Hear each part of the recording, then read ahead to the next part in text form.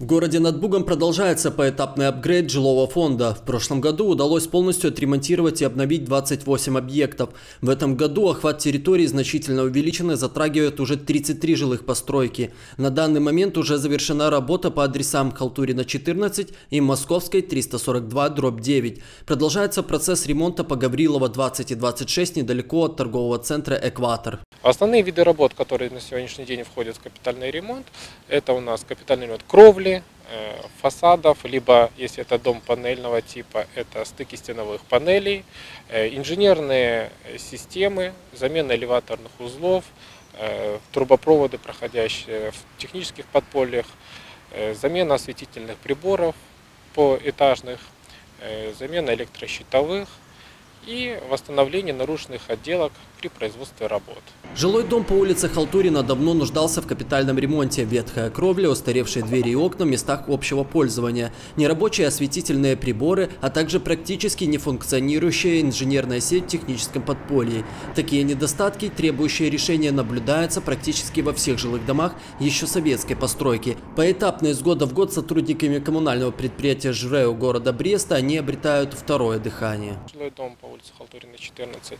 Э, по данному дому выполнены работы по капитальному ремонту кровли, э, окон и дверей в местах общего пользования, замена осветительных приборов, выполнена замена капитального ремонта отмостки, э, а также полная замена инженерных сетей в техническом подполье. Другой, дом у нас кирпичный, по фасадным работам у нас была замена и ремонт ограждений лоджий и выполнена замена экранов. Второй дом по адресу Московская 342 дробь 9 панельный и нуждался в таких же ремонтно-технических работах.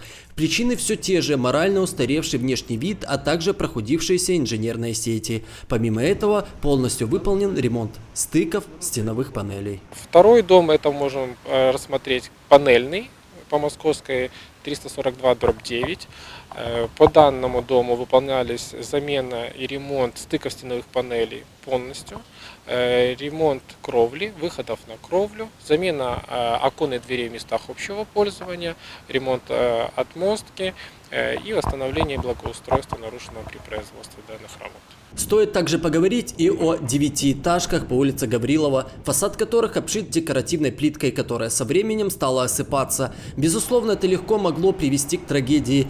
Работники предприятия, Брестский городской ремонтно-строительный трест, с декабря прошлого года ведут работы по устранению проблемы. Причина разрушения декоративных элементов заключается в некачественном выполнении работ при постройке, вследствие чего произошло замыкание стеновых конструкций под плитку, размораживание, вследствие чего и пошел процесс шелушения плитки. Согласно проектно-сметной документации предусматривались работы по капитальному ремонту кровли, замена двух слоев кровли, фасад, ремонт фасада, места общего пользования, входные группы, цоколь от мозга.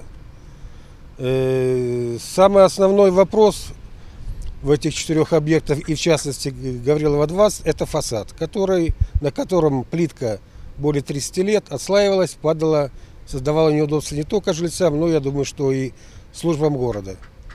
В настоящее время э, Трест совместно вместе с заказчиком Кубжеу готовит объект сдачи я думаю, что по маю месяцу мы совместным усилием этот объект введем в эксплуатацию. В нынешнем году в рамках программы по апгрейду жилого фонда планируется отремонтировать 33 дома, а это порядка 140 тысяч квадратных метров. На данный момент в Бресте 80% жилых домов еще советской постройки нуждаются в обновлении, так что работы предстоит еще много. Александр Богданович, Александр Воронин, Юрий Лемонтович, телекомпания Бук ТВ.